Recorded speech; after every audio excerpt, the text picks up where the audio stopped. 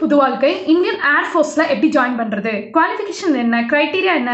Selection process என்ன? ஏதாச்சும் exam இருக்கா? பா அங்கே போய் ஜாயின் பண்ணுறதுக்கு எப்படி நான் வந்து இந்தியன் ஏர்ஃபோர்ஸ்க்கு பைலட் ஆகிறது? இல்லைனா ஏதாச்சும் ஒரு பெரிய கமாண்டிங் ஆஃபீஸர் ஆகிறது?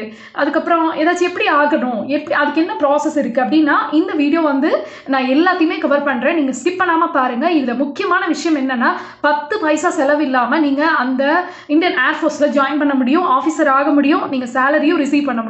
ஸோ அது எப்படி அப்படின்றது வீடியோ ஸ்கிப் பண்ணாமல் பாருங்கள் அண்ட் மறக்காமல் இது யாருக்கெல்லாம் உபயோகப்படுமோ இந்த மாதிரி டேலண்ட்ஸ் யாருக்காவது இருந்தாலும் உங்கள் கிளாஸ்மேட்ஸுக்கு கட்டாயமாக இதை ஷேர் பண்ணுங்கள் சப்ஸ்கிரைப் பண்ணுங்கள் ஓகே இந்தியன் ஏர்ஃபோர்ஸ் பொறுத்த வரைக்கும் என்ன அப்படின்னு பார்த்தீங்கன்னா ப்ரெஸ்டீஜியஸ் ஒரு பொசிஷன் ப்ரெஸ்டீஜியஸ் அகாடமின்னு சொல்லலாம்.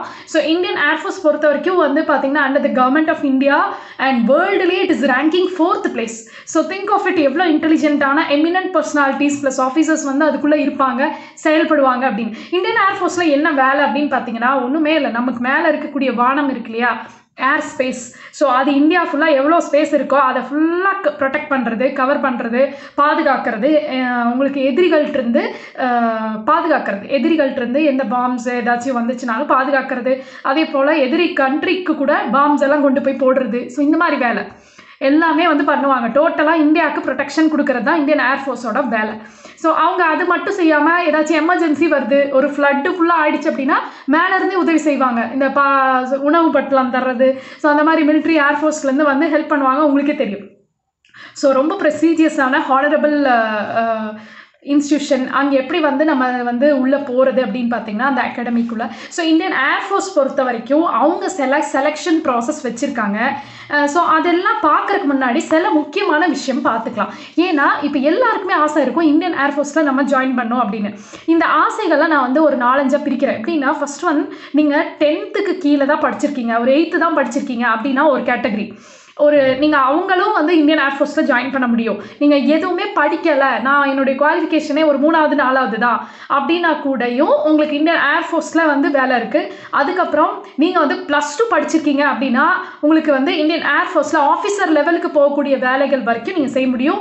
அதே மாதிரி தேர்ட் ஒன் என்னென்னா நீங்கள் ஏதாச்சும் டிகிரி படிச்சிருக்கலாம். பிஏ ஏரோநாட்டிக்கல் இன்ஜினியரிங் இல்லைனா BTech electronical engineering aircraft management ஏதாச்சும் படிச்சிருக்கலாம். இது டெக்னிக்கலான டிகிரி வந்து ஏதாச்சும் நீங்கள் வச்சுருக்கலாம். கம்ப்யூட்டர் இன்ஜினியரிங் அந்த மாதிரி. ஸோ அதெல்லாம் வந்து ஒரு கேட்டகரி இன்னும் போனால் இன்னும் ஹையராக எம்டெக் படிச்சிருக்கலாம் நீங்கள் ஏரோநாட்டிக்கலில் ஸோ இவங்க எல்லாருமே இந்த கேட்டகரி பீப்புள் இன்னொரு கேட்டகரி என்னென்னா என்சிசியில் கேடட்டாக இருக்கலாம். என்சிசியில் பெரிய ஒரு ரிசல்ட் வந்து ப்ரூவ் பண்ணியிருக்கலாம் அந்த பையன். சின்ன பையன் தான் ஒரு டென்த்து தான் படிச்சிருக்கான். அவன் என்சிசியில் செம்ம ரெக்கார்டு வச்சுருக்கான். சி சர்டிஃபிகேட்னு சொல்லக்கூடிய ஒரு மிகப்பெரிய ரெக்கார்டை வந்து என்சிசியில் வச்சுருக்காங்க. அதுமாதிரி ப்ளஸ் டூவில் வந்து அவன் நேஷனல் லெவலில் வந்து என்சிசியில் பெரிய ஒரு ரெக்கார்ட் பிரேக் பண்ணியிருக்கான் அப்படின்னும் போது அதே மாதிரி ஸ்டேட் லெவல்லையும் என்சிசியில் ச சரியான பெர்ஃபார்மன்ஸ் வச்சுருக்காங்க அப்படின்னா இது வந்து சூப்பர் பிளேஸ் டு என்டர் உங்களோட லைஃபே டோட்டலாக சேஞ்ச் பண்ணிடும் உங்ககிட்ட பத்து பைசா எதுவுமே தேவையில்லை. நீங்கள் ரொம்ப ஏழ்மையான பொசிஷனில் இருந்தாலும் நீங்கள் இதுக்குள்ளே போயிட்டு உங்கள் லைஃபையே அது சேஞ்ச் பண்ணிடும் ரொம்ப பெரிய பொசிஷனை அட்டன் பண்ண முடியும். ஸோ இப்போ நேரடியாக எப்படி செலெக்ஷன் ப்ராசஸ் பண்ணுறாங்க என்னென்ன மாதிரி க்ரைட்டீரியா இருக்குன்னு பார்க்கலாம்.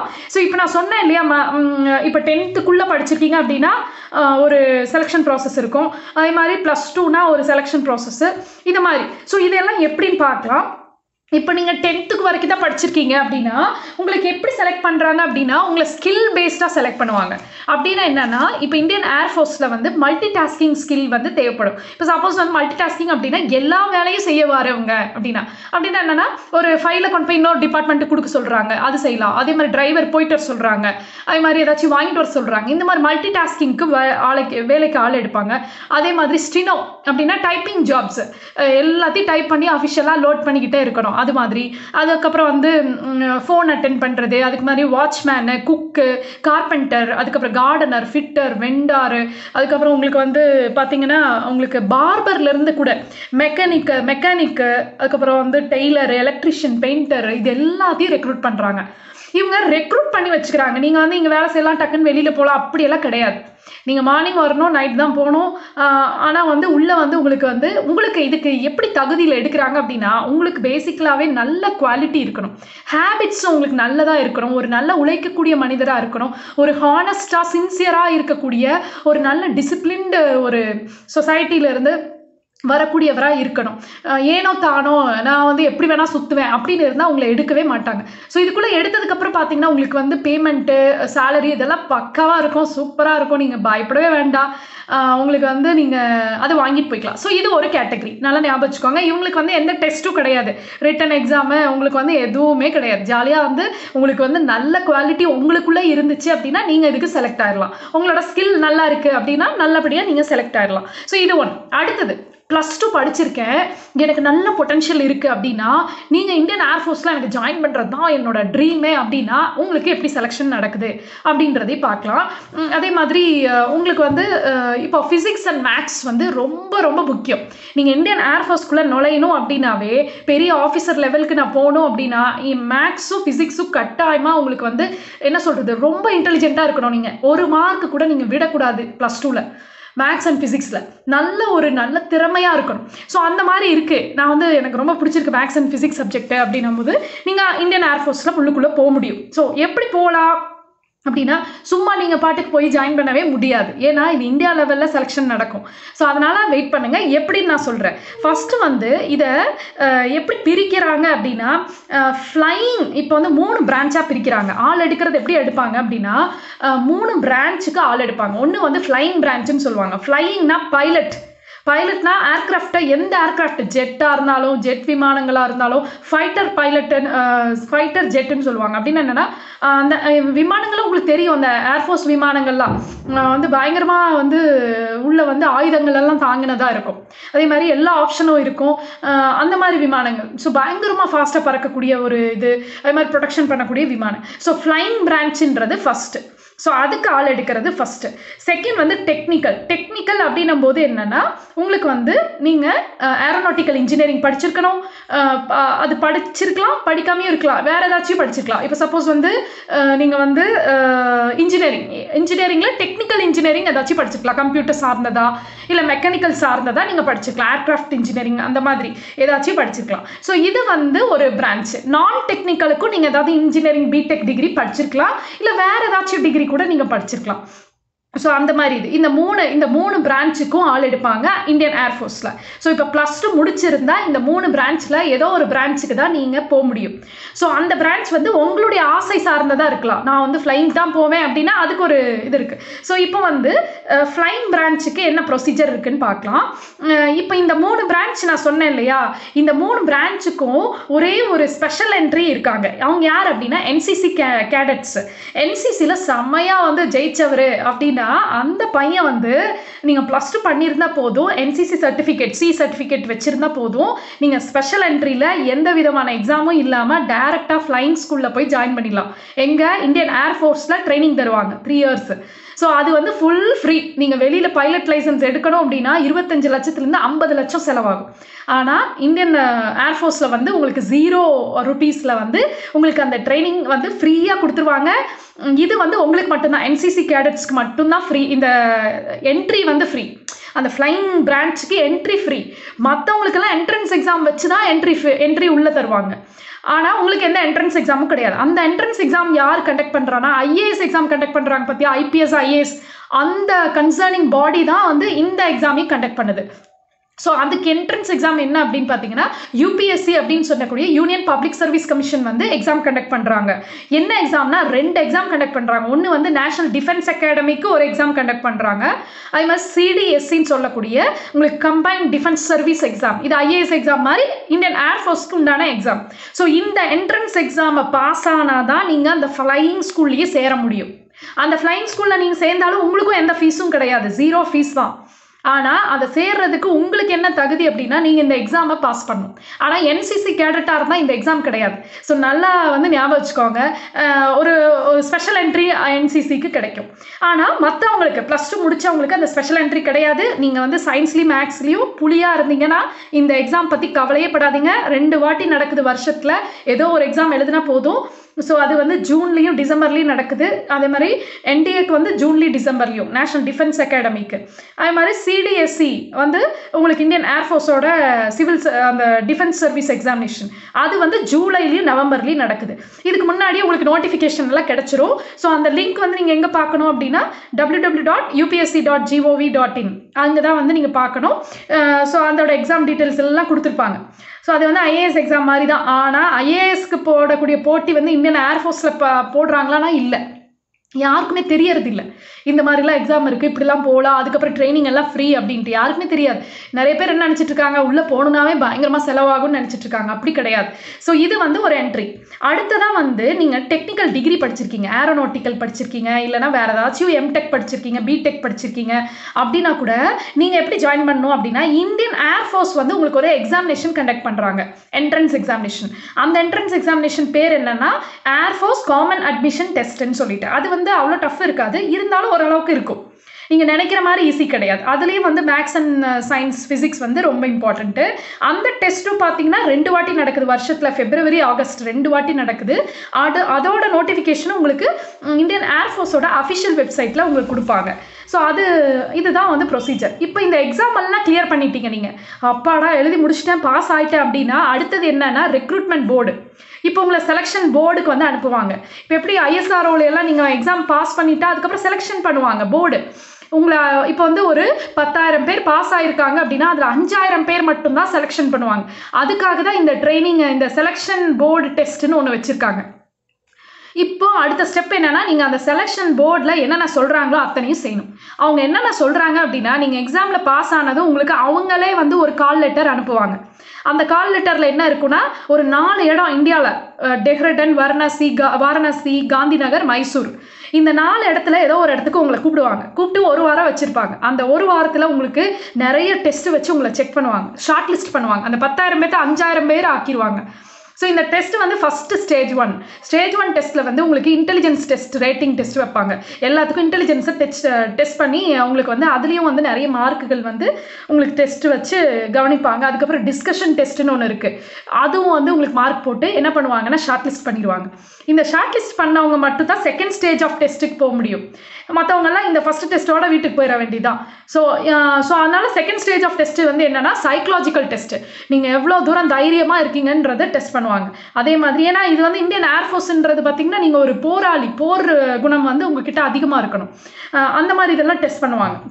அதே மாதிரி உங்களுக்கு வந்து கடுமையான குளிரில் அது வந்து ட்ரைனிங்கில் நடக்கும். ஸோ இங்கே வந்து பார்த்தீங்கன்னா குரூப் டெஸ்ட்டுன்னு ஒன்று நடக்கும். இன்டோரில் அவுட்டோரில் ரெண்டுமே நடக்கும். இண்டோரில் நடக்கும்போது உங்களுக்கு மென்டலுக்கு எக்ஸாமினேஷன் கொடுப்பாங்க. வேலை கொடுப்பாங்க. அதே மாதிரி அவுட்டோரில் நடக்கும்போது உங்கள் ஃபிசிக்கல் நீங்கள் எப்படி வந்து வளையிறீங்க அப்படின்றது எவ்வளோ தூரத்துலேருந்து குதிக்கிறீங்க? அதெல்லாம் டெஸ்ட் பண்ணுவாங்க. ஸோ இந்த மாதிரி. அதே மாதிரி இது இது முடிச்சதுக்கப்புறம் உங்களுக்கு இன்னொரு டெஸ்ட் என்னன்னா இன்டர்வியூ வைப்பாங்க. நீங்கள் என்ன மாதிரி பேசுகிறீங்க உங்கள் பர்சனாலிட்டியை செக் பண்ணுவாங்க. உங்களுக்கு பொட்டன்ஷியல் இருக்கா? இந்தியன் ஏர்ஃபோர்ஸில் உள்ளுக்குள்ளே வரக்கு உங்களுக்கு தகுதி இருக்கான்னு பேசியே முடிவு பண்ணிடுவாங்க. ஸோ அதுக்கு இன்டர்வியூ வைப்பாங்க. இதெல்லாம் முடிச்சதுக்கப்புறம் நீங்கள் வந்து டெக்னிக்கலாகவும் நான் டெக்னிக்கலாகவும் நீங்கள் வந்து பிளேஸ் ஆயிடலாம் இது வந்து பயம் இல்லை. இந்த டெஸ்ட் தான் வந்து மெயின் இதுக்கப்புறம் பைலட்டாக ஆகணும்னு சில பேர் கனவு வச்சுருப்பானுங்க. ஏர்ஃபோர்ஸில் வந்து நான் பைலட் தான் ஆவேன் அப்படி பிடிவாதமாக இருப்பேன். அவங்களுக்கு தனியாக ஒரு ஸ்டேஜ் த்ரீ டெஸ்ட் இருக்குது அது என்னென்னா computerised pilot selection system test இப்போ இந்த பத்தாயிரம் பேர் வராங்க. அந்த பத்தாயிரம் பேரும் வந்து பைலட் ஆகணும்னு போட்டாங்கன்னா அதுலேருந்து கொஞ்சம் பேர்த்த தான் பைலட் பண்ண வைப்பாங்க. ஸோ அதனால் இந்த டெஸ்ட் இந்த டெஸ்ட் எல்லாம் பாஸ் ஆகி முடிச்சிங்கன்னா உங்களுக்கு அடுத்த விஷயம் என்னென்னா மெடிக்கல் டெஸ்ட் இப்போ இந்த மெடிக்கல் டெஸ்ட்னா நீங்கள் ஜென்ரலாக போய் உங்கள் வீட்டு ஃபேமிலி டாக்டர்கிட்ட எடுத்துகிட்டு வர டெஸ்ட் கிடையாது. இது வந்து அவங்க நியூ டெல்லியிலையும் பெங்களூர்லேயும் மெடிக்கல் எக்ஸாமினேஷன் ஏர்ஃபோர்ஸ்க்கு வச்சுருக்காங்க.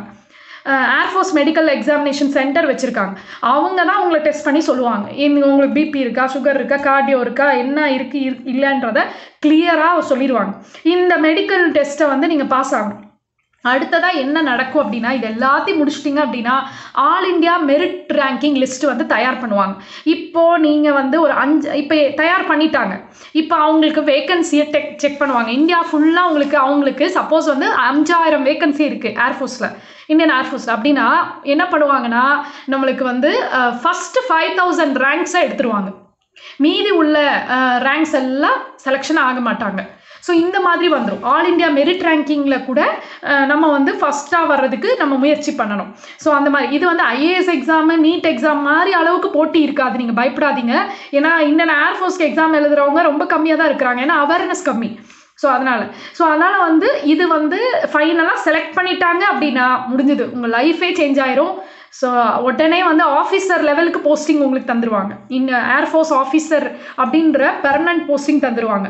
இதில் என்ன நடக்குதுன்னா சில இன்னும் ரெண்டு இருக்குது பெர்மனன்ட் போஸ்டிங் இருக்குது இன்னொன்று ஷார்ட் சர்வீஸ்னு ஒரு போஸ்டிங் இருக்குது ஃபீ விமென்ஸ்கெல்லாம் பார்த்தீங்கன்னா உங்களுக்கு வந்து பதினாலு வருஷம் மட்டும்தான் ஒர்க் பண்ணுற மாதிரி வச்சுருக்காங்க. பேலன்ஸ் கிடையாது.